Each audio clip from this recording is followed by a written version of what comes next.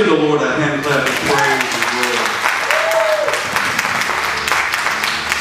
Thank you, Father, Lord God, for an open heaven. Father, we thank you, Father, for the neighborhood to come under the influence of God. Father, we thank you, Father, that the crack addict, Father, will become addicted, Father, to the Bible and to the preaching of your word. Father, we thank you, Father, for a, for a, a revolution, Father, in that community, Lord God, that they'll begin to decree that Jesus is Lord. Father, we thank you even now for an invasion, Father, Lord God, upon the, the people of the Houston, Lord God. And Father, we thank you for multiplicity, Father. Hallelujah. How many know that the Bible says that when you sow a house into the kingdom of God, that you will receive a hundredfold in this life? Hallelujah. How many know? Say that with me. When I sow in land's property, I'll reap a hundredfold in this lifetime.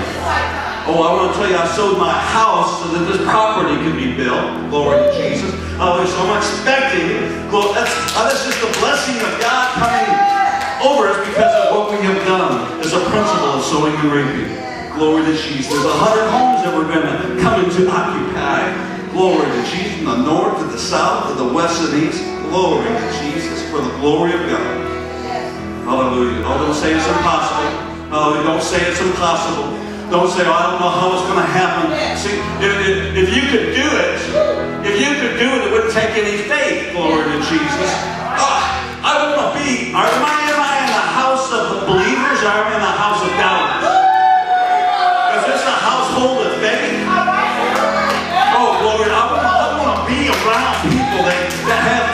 say unto the mountain, Be thou removed and cast in the sea.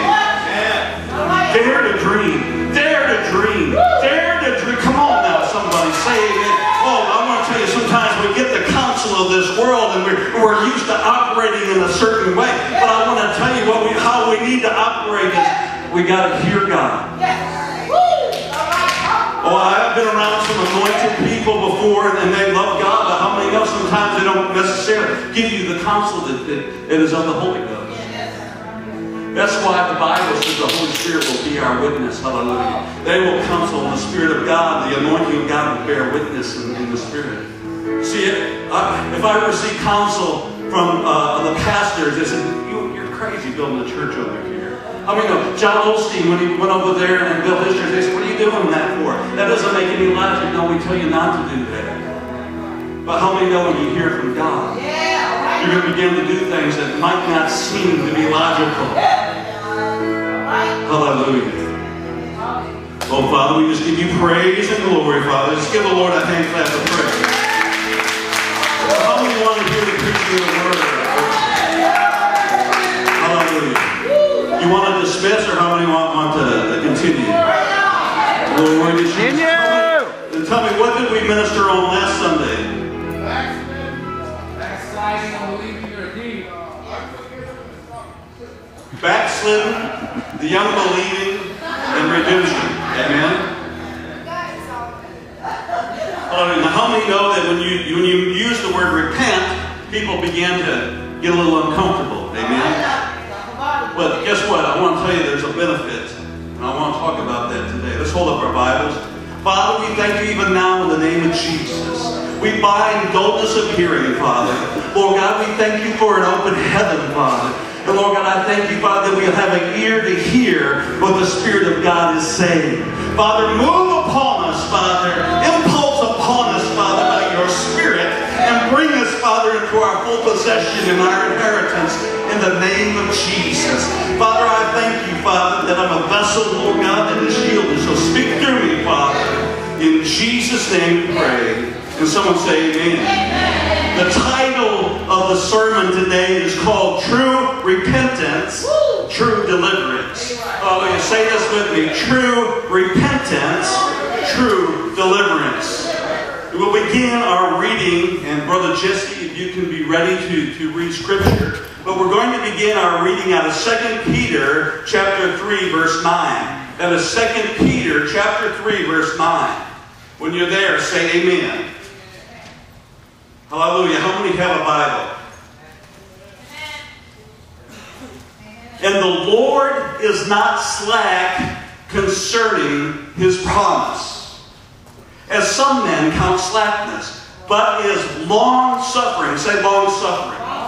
Or patient towards us, not willing that any should perish, but that we should all come to repentance. Say the word with me repentance. Repentance. Now, how many have a definition of the word repent? What is your def? Somebody tell me what the word repent means. I'm sorry.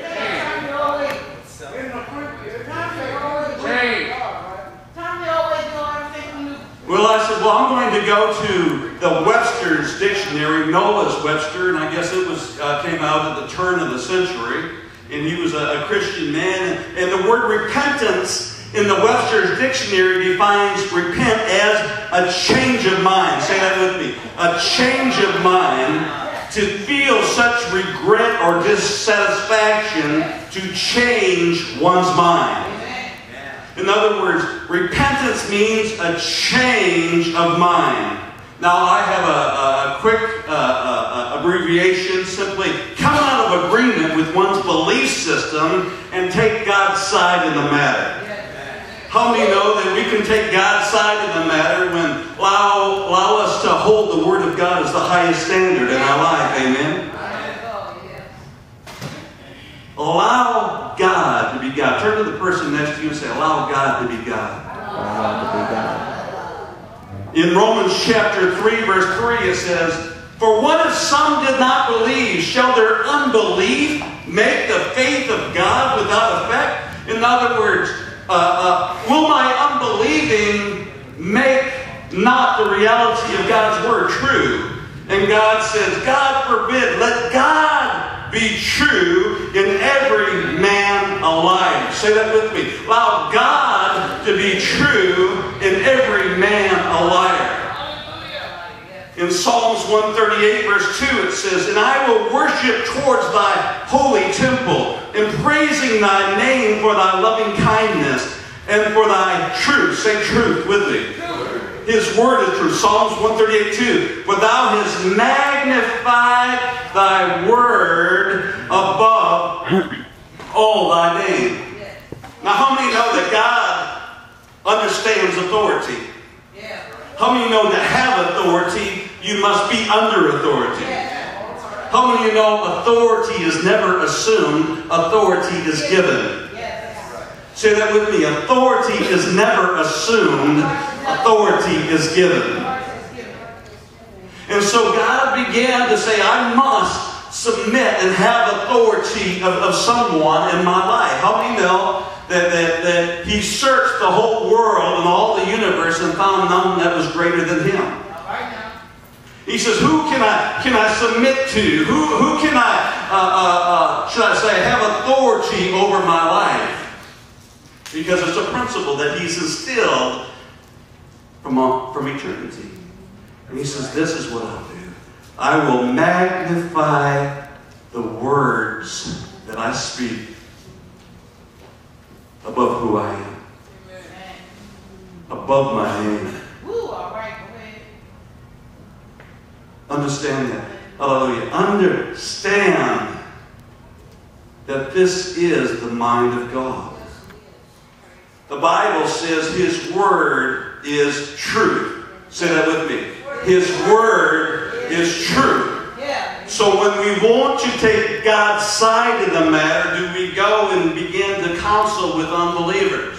No. When we begin to counsel or try to seek godly counsel on, on, on a, a relationship, where do we go? We go to the Bible. Amen. This is your final authority over your life. Somebody say amen. Now, how many know that most of the body of Christ, and I call it this way, has stinking thinking? That's right. Hope to the person next to you say, he's talking about you. Talking about you.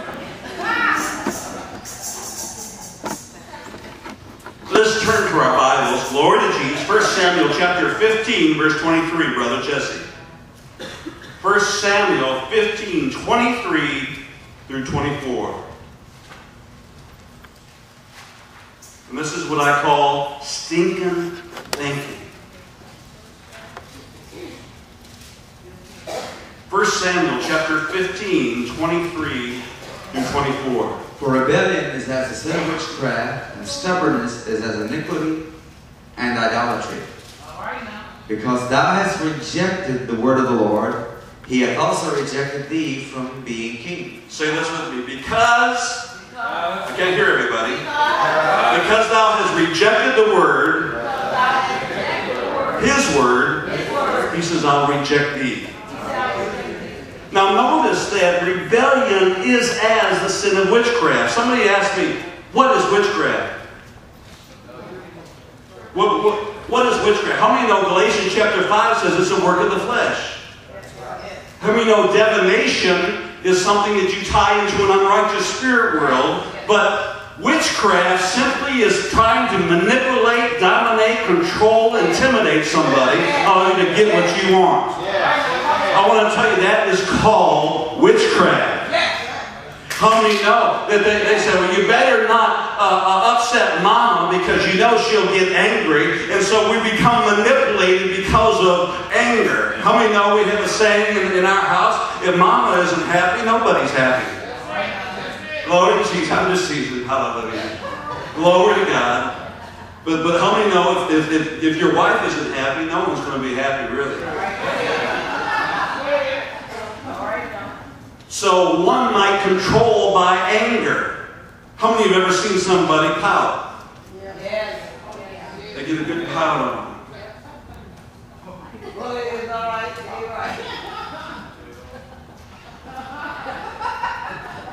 How many know that's witchcraft? How many know that when we begin to manipulate brothers and sisters in the Lord to do what we want to do, even though it might be good for them, it's really getting into what we call charismatic witchcraft? How many know God will not supersede the will of somebody?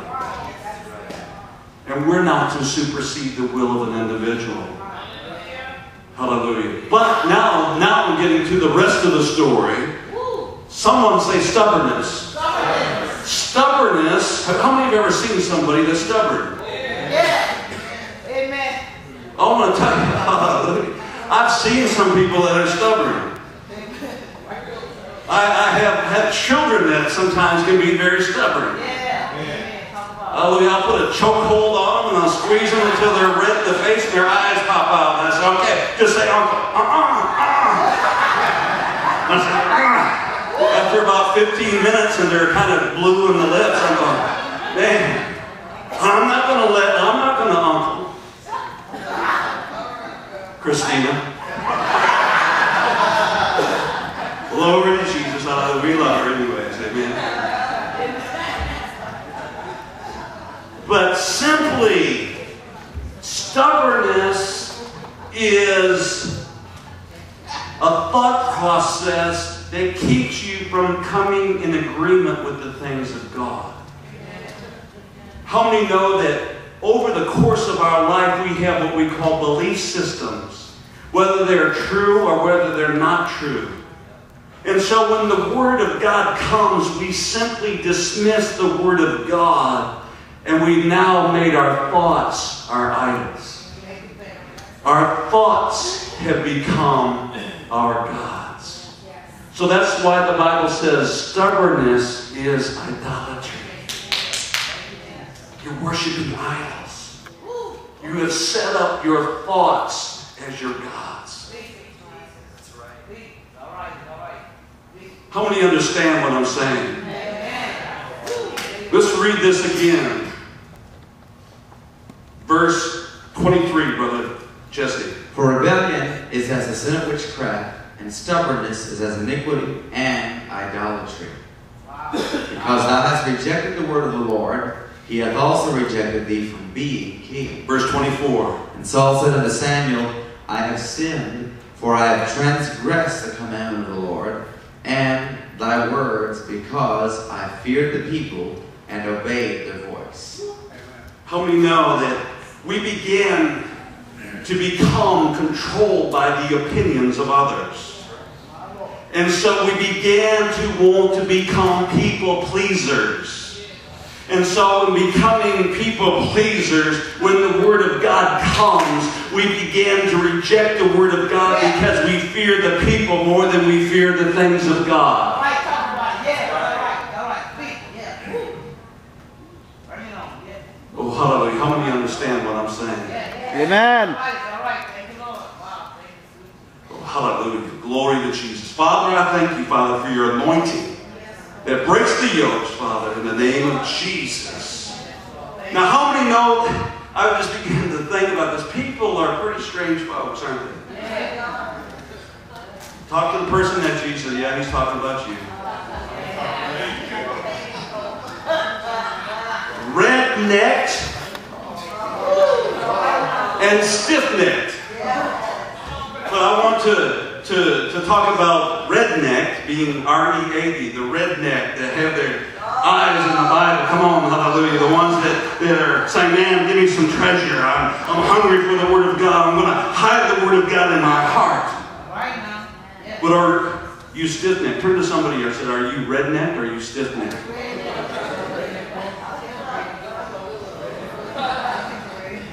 Oh, hallelujah. Some of you say both. But your redneck is R-E-D neck, huh?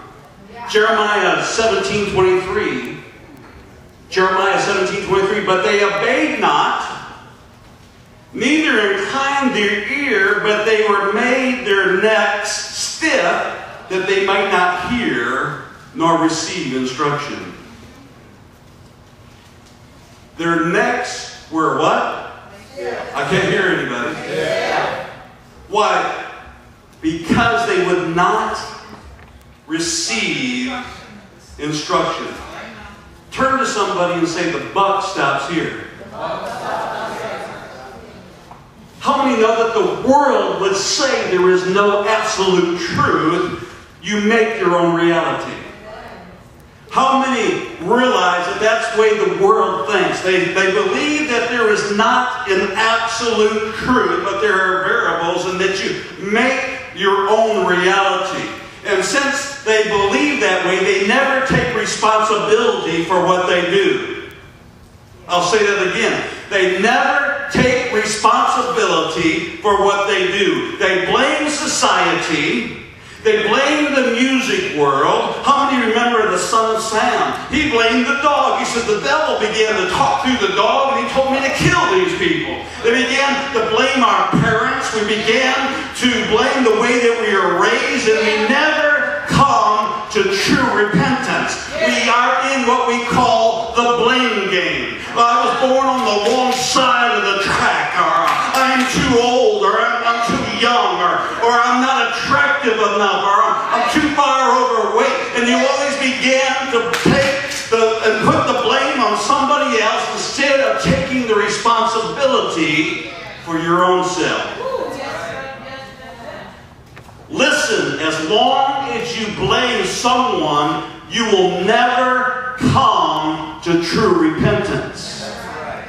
Turn to somebody and say, The buck stops here. The buck stops here.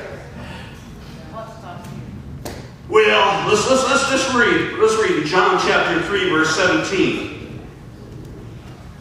When you're there, say amen.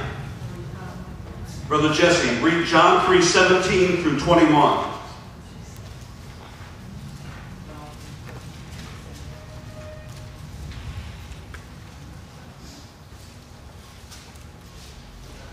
For God sent not his Son into the world to condemn the world, but that the world through him might be saved. Turn to somebody and say, That's good news.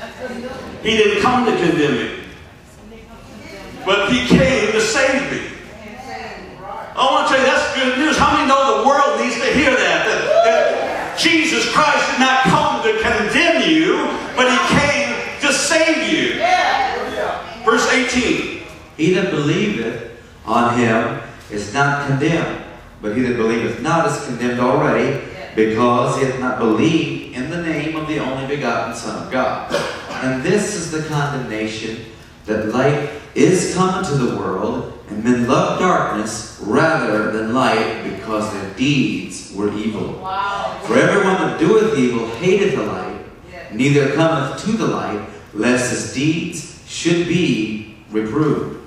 But he that doeth truth cometh to the light, that his deeds may be manifest, that they are wrought in God. Hallelujah.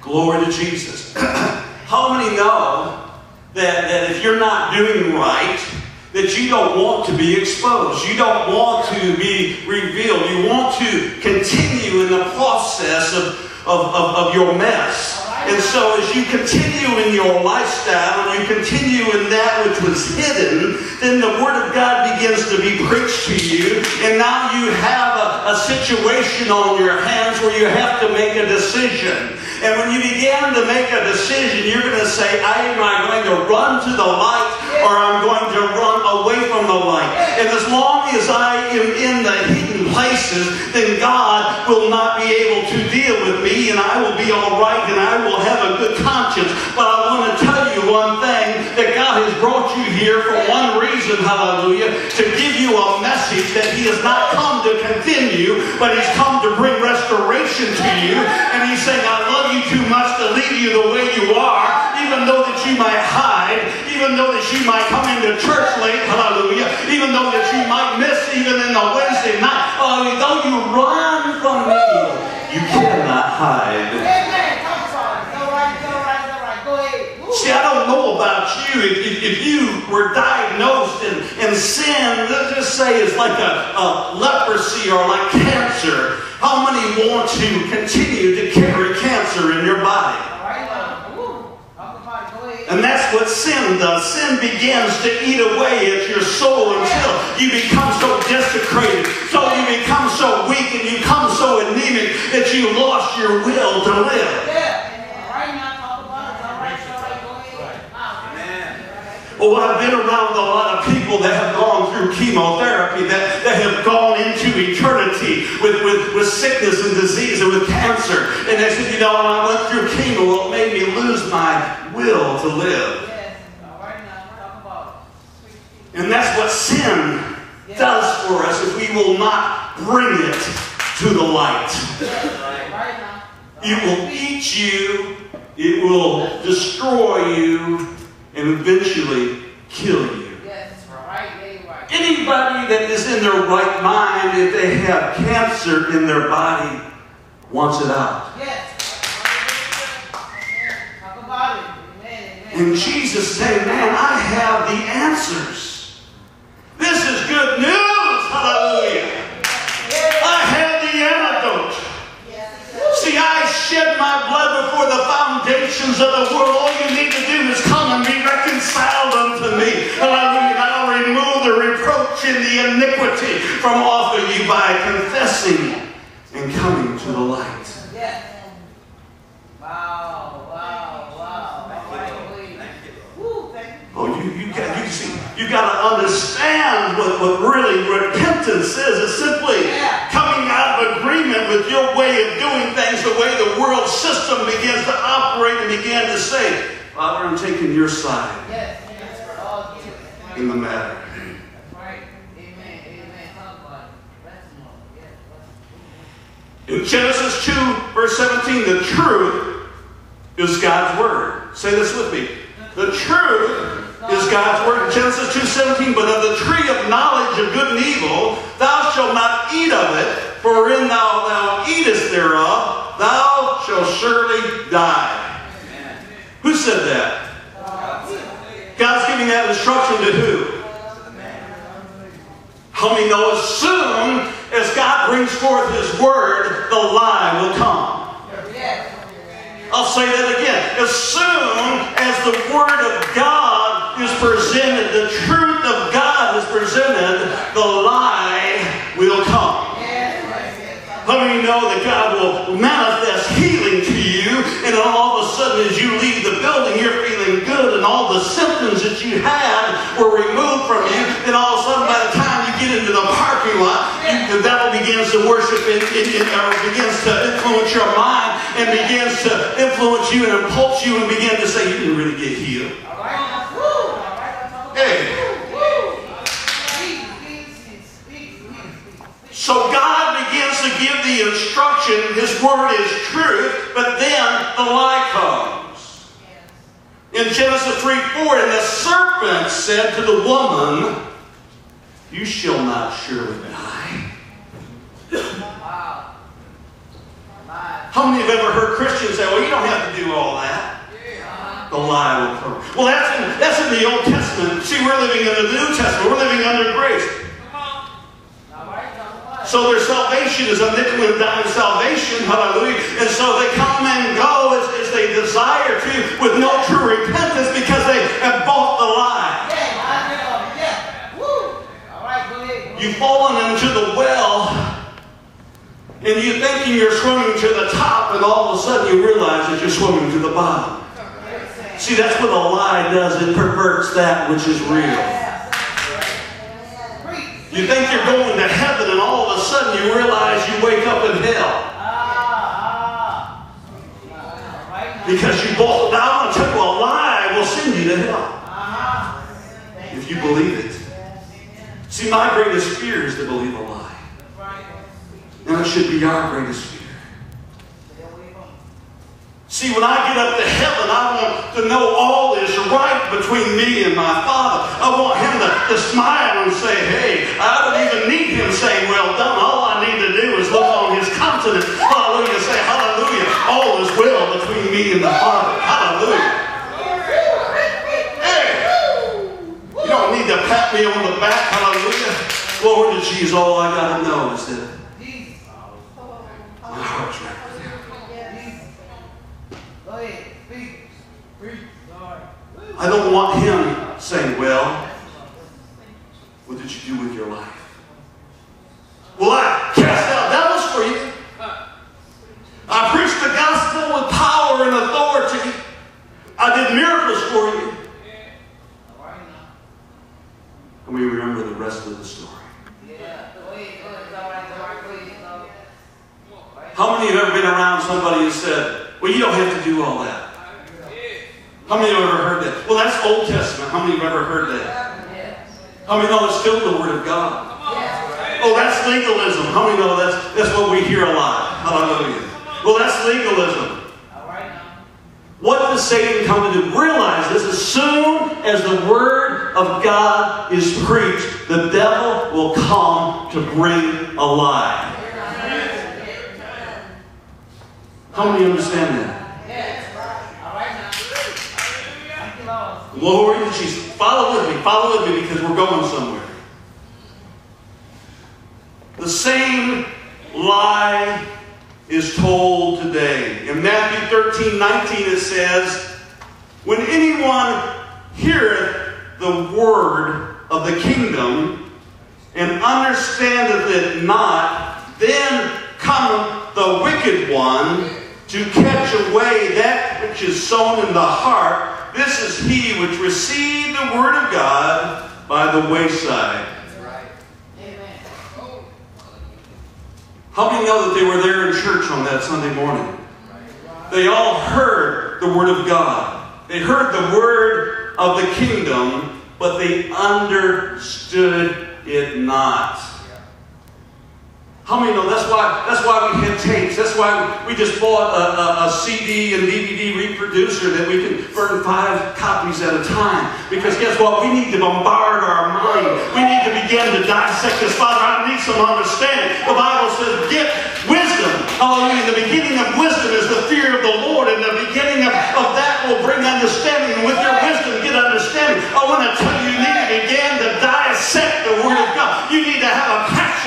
the Word of God and begin to say, Father, I don't understand all this, but Father, I ask for your illumination. Send your spirit, Father, to bring revelation. And he'll begin to speak to you. And he'll begin to say, My word interprets the scripture. Hallelujah. In other words, my word will interpret the word out of the mouth of two or three witnesses. Allow every word to be established. I'm going to show you here. Uh, Hallelujah. I'm going to show you there. Hallelujah. Sometimes I just open up the Bible and say, Hey, turn here. Uh, Hallelujah.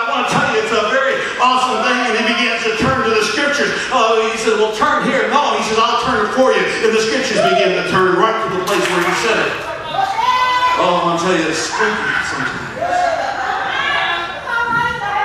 But it's getting real. And if I will get understanding, when the devil comes and tries to take that which has been planted I'm going to rise up and I say, hey, that's not the voice of my father. Oh, hallelujah. My sheep know my voice, and a voice of a stranger they will not follow. Hallelujah. Listen to what I'm saying, glory to Jesus. My sheep know my voice, and the voice of a stranger they will not follow. I want to tell you, glory to Jesus. Many times when I was walking uh, with the Lord, I would hear the voice of the enemy. The first time that I, I came to, to, to church, I heard. He said, Hey, these people don't care about you. How many of you have ever heard that? Yeah. These people don't love you.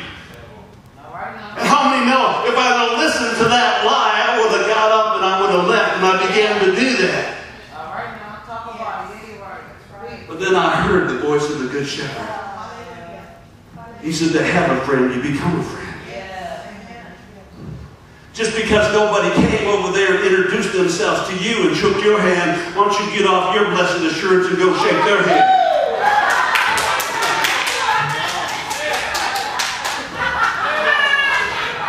Lord, is how you doing, man? Glad to see you. Hallelujah. What, what do you think the enemy did? He said, curses foiled again. Oh, I'll tell you, the first time I, they were having a Bible study, and, and there's the enemy telling me, hey, man, you need to be up there. They're preaching there. You, you have a more of anointing on him, and all of a sudden he tried to bring jealousy to me. He's a liar. How many know he's a, a father of lies? There's no truth in him. it. Yeah, good. Well, I'm more talented than that. I'm more anointed than that. And all of a sudden you jealousy in your heart. As soon as there are appointments here uh, that are given, all of a sudden you begin to get upset because you say, man, I'm more qualified. I'm more, more talented. I'm more anointed. Well, you know what the Lord said? He says, you repent of your jealousy. He said, when your brother is up there, you need to be praying for him. You are your brother's keeper, hallelujah. You need, you need to be an intercessor for him. Yeah, you're right. Speak. It ain't about you anyways, it's about me. Glory to God, hallelujah. Get your eyes off yourself for a moment. Speak now. Yeah, you're right. It's all good. It's all good. Yes. right. Oh Lord. How many know when the Lord chastises you, it don't feel good, but hallelujah. On the process of you walking with a limp because he swatted you, hallelujah, then you begin to think, glory to Jesus, hallelujah. All right. All right. I'm listening to the Father. Wow.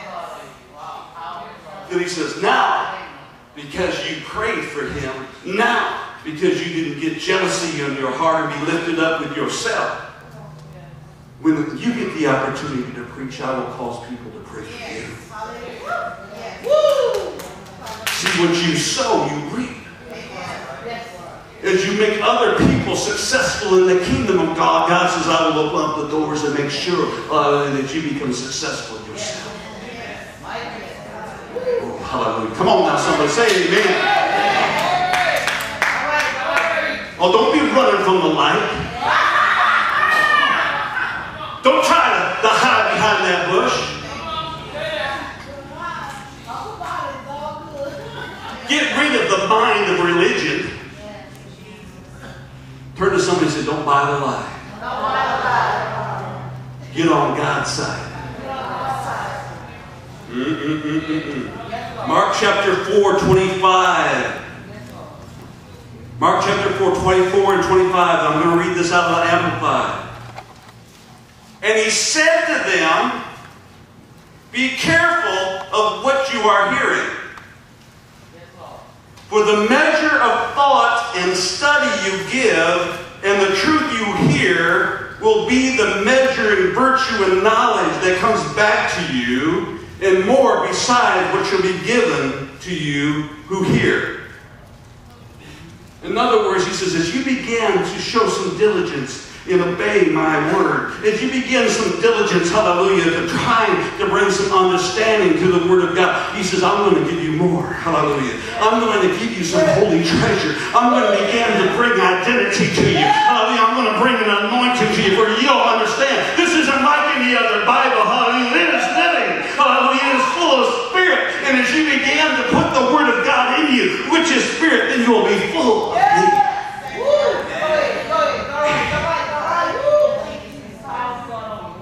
The Bible says if our eye be single, our whole body be full of light.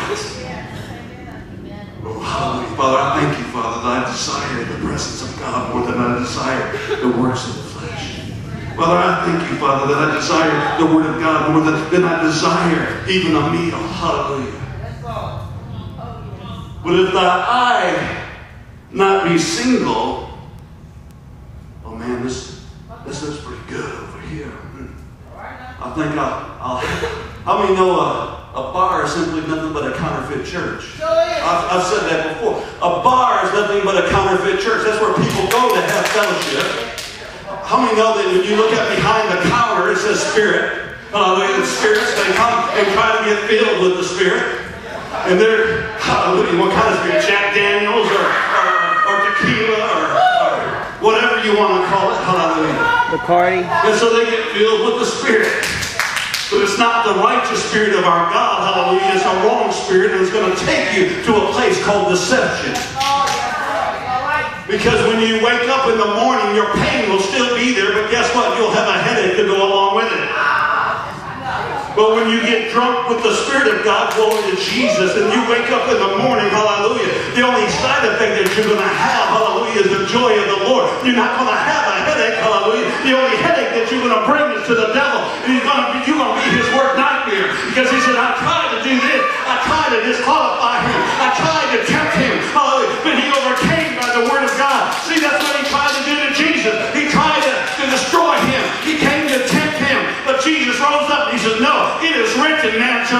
by bread alone, but by every word that proceedeth out of the mouth of God. Well, he said, Oh, I will give you the kingdom. I will give you the glory of all these kingdoms. Just bow down and serve me. He said, Hey, get beside me, devil, for it is written, I shall only serve one God. and him will I only serve. Haven't you, aren't you hungry? Turn these stones into bread. No, it is written, man shall not live by bread alone, but by every word that proceeded out of the mouth of God. Wow, go ahead, go ahead, all right. Speak, speak. Ooh, it's all good. It's all good. See, if you don't have the word in you, then you have both the lie and you have a religious mindset. When the devil comes knocking on your door, he's going to not just knock on your door, he's going to come in, he's going to set up home with you. Hallelujah. He's going to watch TV with you, someone said. How many know the devil's like a rude house guest? Would you invite him in? He don't like to leave.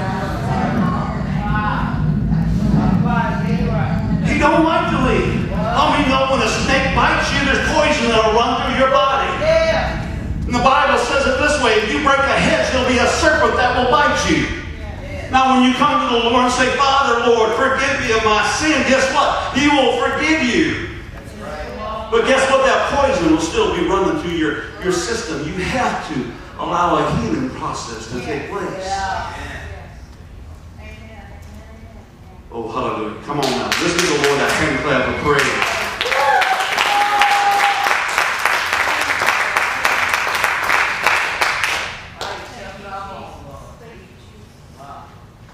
Be careful of what you're hearing. Yes. Verse 25 For to whom has will more be given. And from him who has nothing, even what he has will be taken away by force. What does that mean?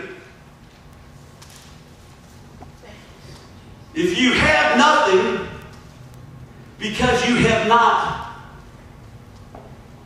surrendered to the will of the Father, you have not surrendered to the Word of God, then that which you have, meaning nothing, Yeah, all right. because His Word is something, Yes. His Word is faith coming out of the mouth of God, I'll take away from you. I'll take away your long life. Wow. I'll bring sickness and disease to you. I'll bring divorce to you. I'll, I'm going to destroy your family. I'm going to make sure that your children are cursed. I'm going to take everything that you have that right now seems to be nothing, and I'm going to take more. Ooh, preach, preach, preach. Talk about, talk about. For the Bible says that the iniquities of the forefathers go to the third and fourth generation. Yeah. It'll affect your children what you're doing now. Yes, yes, yes, yes. Talk about it. Speak, speak, yes. But if you take God's side of the matter, he said that the blessings of God go to a thousand generations. Yeah. Ooh, it's all right. Hey! Glory to Jesus. Hallelujah. Well, I'm uncomfortable, I, I don't like to hear that I'm going to have to change. I want to tell you, glory to Jesus. I want to tell you, there is good news. There is good news when we understand, when we begin to take God's side in the matter, when we begin, there's going to be provision, there's going to be healing, there's going to be restoration. Hallelujah. Instead of being in a cursed realm, blessing shall overtake thee. Then you'll begin to understand who you are and begin to walk in the full inheritance. The Bible tells us that the blessings of Abraham will come upon him through faith in Jesus Christ in Galatians chapter 3. The blessings of Abraham. Oh, Hallelujah. What is the blessings of Abraham? One of those blessings is that you shall possess the gates of your enemy. Oh, Hallelujah. How many know that sickness and poverty and lack is an enemy? How many know that all these things that the world is operating in can be destructive? Woo! Glory to Jesus. Hallelujah. How many want to have an anointing on your life? Yes, Lord. Many know it will cost you everything? It will cost you everything. How many want to walk in the resurrection power of our Christ? First, we got to go to the cross. How many know that we have to experience the cross before we can experience the resurrection? Let's give the Lord a hand clap of praise. Hallelujah. Blessings, blessings, blessings, blessings. Wow. Thank you, my Hating the light. Turn to somebody and say, Stop your hating. Stop your head. Don't be hating. In Genesis 3 9, and the Lord God called unto Adam and said unto them, Where art thou? And he said, I heard thy voice. I heard the word coming out of your mouth, and I was afraid. And I was naked, and I hid myself. Why? Because of a sin. Now, how many know that we always begin to get right here when God begins to make us uncomfortable? People, like I said, people are pretty strange folks, and they, they begin to not understand what true repentance is. And so when God's light comes, we begin to get a little squirmish, or we begin to get a little agitated, or we begin to get a little uncomfortable because we don't understand what repentance will do. It will not uh, bring us into a, a place of bondage, but it's going to bring us into a place of liberty. God did not come to condemn us or to shame us, but He dealt with our sins so that He could draw us closer to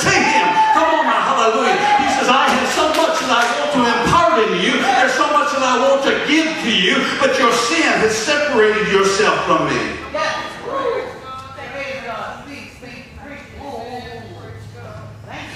Oh, hallelujah.